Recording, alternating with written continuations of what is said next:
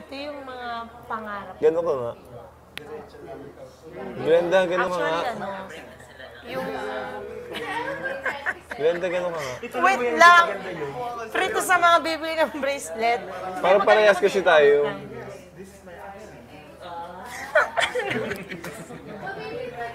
Ang lakas dito sa... Andito ka. Dito ka.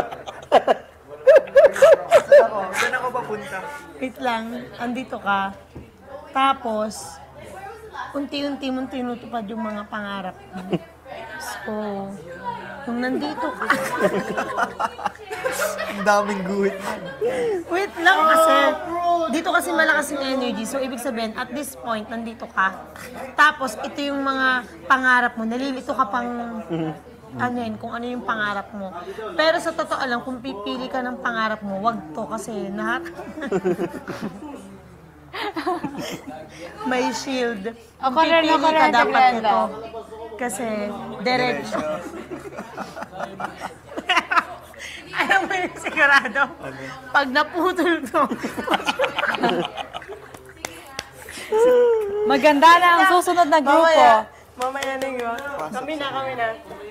O ya, yung guhit, pag naputol ko sigurado. Ito, Sarah. Sandali.